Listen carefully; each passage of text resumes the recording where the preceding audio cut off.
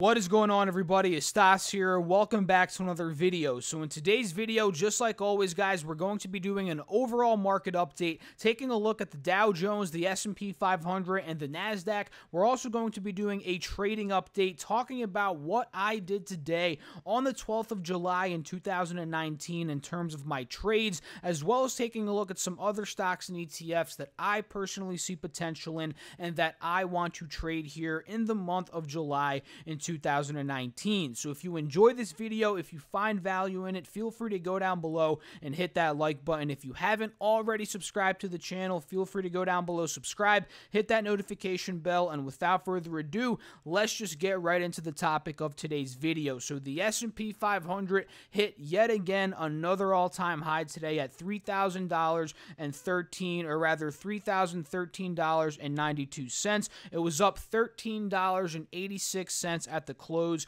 up 0.46%. The Dow Jones Industrial Average continued its rally today, guys, up 243 points, up 0.9%, hitting yet again another all time high at $27,333.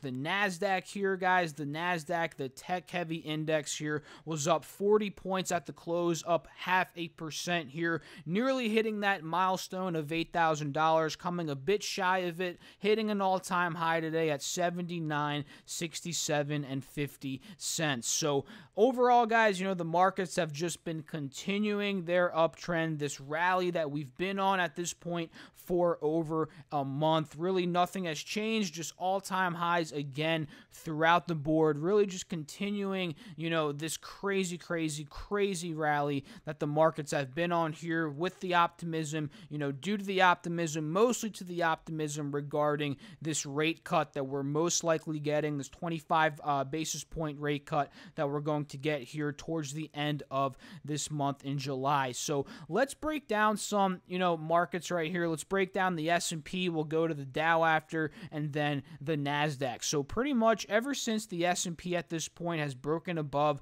28, uh, or rather 2950, 2975, we've been healthily, really just maintaining these levels levels above that point, right? These levels that were resistances, we've been maintaining those as new supports. Really, we solidified that as we pulled back. We retested 2960 as a support, and we broke out of that wedge that I drew here a couple of videos ago. And ever since we've broken out of that wedge, like I said a couple of videos ago, if we break out of that wedge, you know, the market will be bullish. Well, ever since we broke out of that, you know, the market has continued to rally up to another all time time high and really just all time highs day in and day out here over the past couple of days. So, not much has changed, guys. You know, ever since we've broken out of that wedge, we've just been running here on the S&P 500. The 20-day 1 hour really shows us the uptrend is still intact. You know, we're following, we're riding that 50 SMA here as a support.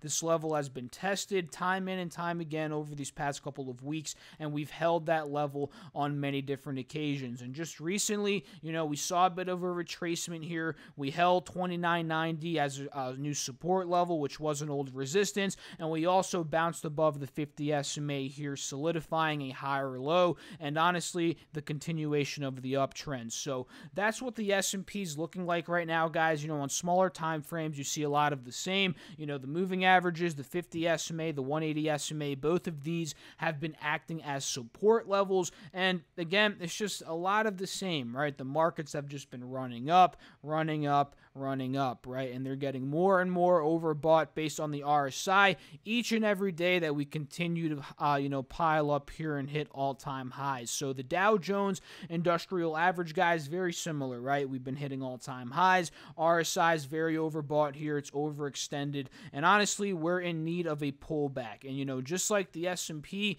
you know, in my opinion, the Dow is needed for a pullback, and it's also you know, holding that level, that old resistance as a new support. But for the Dow's case, that level is roughly, I believe, at like $26,700, right? You notice that level right here resistance, resistance, resistance. We broke above it. It is now a new support. And we solidified it as a new support a couple of days ago when we were able to, you know, break out of that uh, wedge here, that bullish move. And ever since we broke out of that wedge, again, very similar to the S&P, we've been seeing rally, the rally continuing here in um, the Dow Jones. And just like the S&P, you know, we're holding the 50 SMA support here. Everything is looking good right now for the continuation of the uptrend. But one thing, again, it's pretty overbought here on a bunch of different time frames. I wouldn't be surprised if we cooled off and maybe retested that 50 SMA. I think that could definitely happen this upcoming week because we're not just going to continue to run up day after day after day. There is going to be a day like we've seen in the past couple of weeks where, you know, markets cool off a bit and I do expect that to happen and if we're going to continue the uptrend after that or we're going to sell off, that takes time to tell, but and we'll see that here in a couple of um, trading weeks, right? So the NQ very similar, right? We've been hitting all time highs, riding moving averages on the 20 day, one hour chart, hitting higher highs, hitting higher lows, all of that different stuff. The NQ on the five day, five minute here, you can see we hit that all time high again today, like I said, riding 50 SMA and 180 SMA as a um, support. So it's really a lot of the same stuff, guys. I feel like I am repeating myself because the markets have really just been uptrending. You know, the technicals really look the same here day in and day out over these past couple of videos. But you can see the NQ, old resistance was at about 7,900. We broke that, held it as a new support, right? And it seems like we did solidify the bounce on that level. As you guys can see, pretty much right here, right? You guys can see we broke out of it,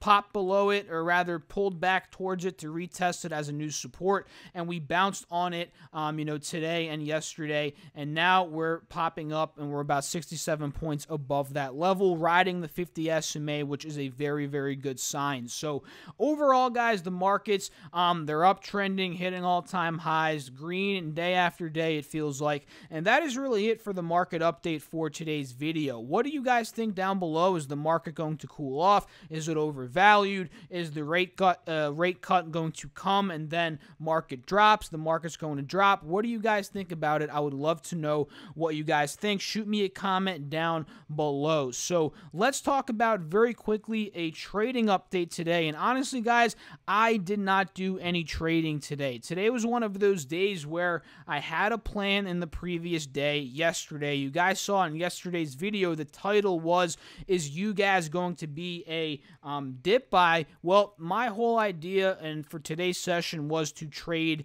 UGAZ. And when that kind of didn't play out, and a lot of the other stocks I, were, I was watching, none of them really ended up playing out. In either the, the, the ETFs didn't really play out either. You know, when I saw that, I figured maybe take it easy. You know, I did well the previous couple of days this week. Take it easy. You know, things didn't play out, and I just didn't end up trading. And going back to what I said with UGAZ, you know, UGAZ played played out perfectly. But the thing is, guys, you know, I missed the move because the move ended up happening overnight, right? And that's one thing that sucks because if you don't buy in the previous day and you don't hold overnight, a lot of the time these moves they happen overnight. And if you didn't buy the previous day, obviously you can't really capitalize unless you buy pre-market. And I didn't buy pre-market um, in this case. And you can see, you know, the run up from $18, you know, from yesterday if you were to buy yesterday at close and buy, you know, in the morning. Like I said, you know, in yesterday's video, this was a good looking dip buy.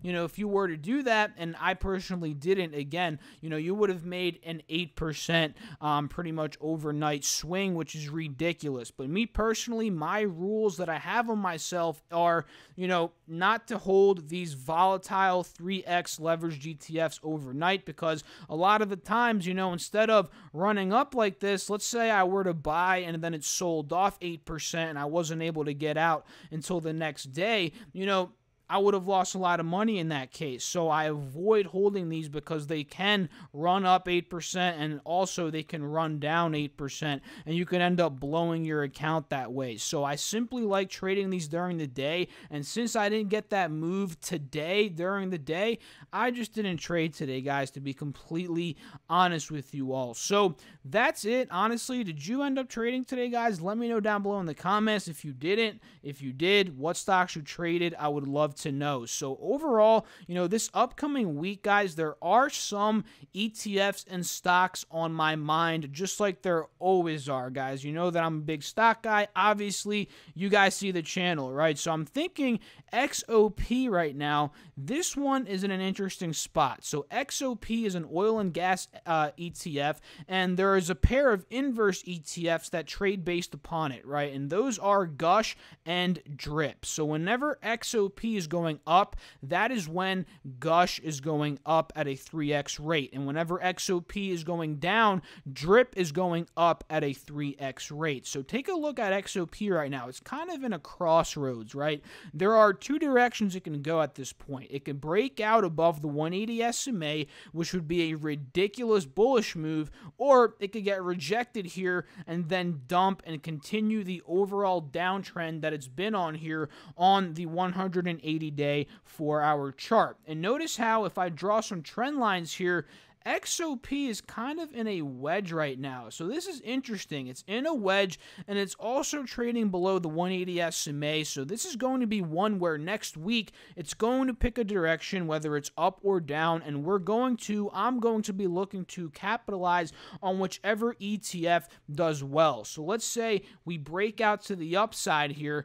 Gush is going to be a very good play, right? Because this one goes up whenever XOP is going up, like we just said. And that would actually trigger Gush to go above the 180 SMA resistance, which would be a very bullish move. And let's say XOP were to dump and continue its overall downtrend, you know, Drip is going to be the one I'm looking to play, which goes up whenever XOP is going um, down, right? So that is one, uh, you know, ETF, an inverse ETF combo that I'm watching, you know, very, very heavily here. Crude oil it's still stuck on this 60 level support. One thing I'm liking about it is it's holding it as a new support. That's a very good sign that it wants to fill the gap to the upside. And I and I also like the RSI is cooling off a bit and actually getting closer to, you know, this trend line that I have drawn out here on the RSI chart. So this could be a pretty good sign if the RSI pops a bit, the CL future here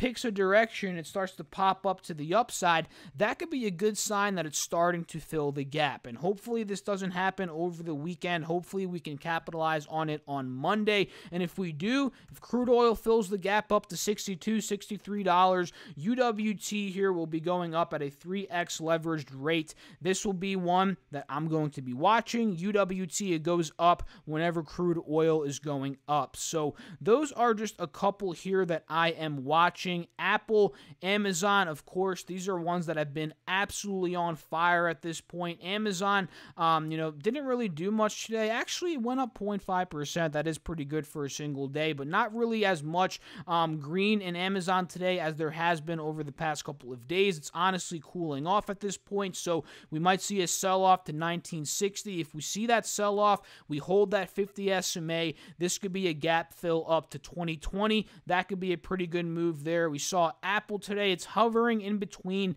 that $200 and $210 channel here. If we break above 204, that could be a move where it's bullish. We might be filling the gap up to 210. That could be very possible. And that, and you know, if these markets continue to run up, which is very possible here, you know, as the anticipation of a Fed Federal Reserve um, interest rate cut comes, you know, TQQQ, which is a Nasdaq ETF, it goes up three times whenever the NASDAQ is going up. So let's say, you know, NASDAQ's up 1%, TQQQ would be up 3%. You know, this is one that I'm heavily considering trading and one that I'm always watching as these markets are, you know, continuing the uptrend. And let's say we dump, let's say the markets take a hit, SQQQ is what I'm going to be looking to play. This goes up whenever the NASDAQ is going down. So those are a couple that I'm watching here this upcoming week, guys. I hope you all enjoyed this video. If you did, feel free to go down below and hit that like button. Let me know down below in the comments section what you enjoyed about the video,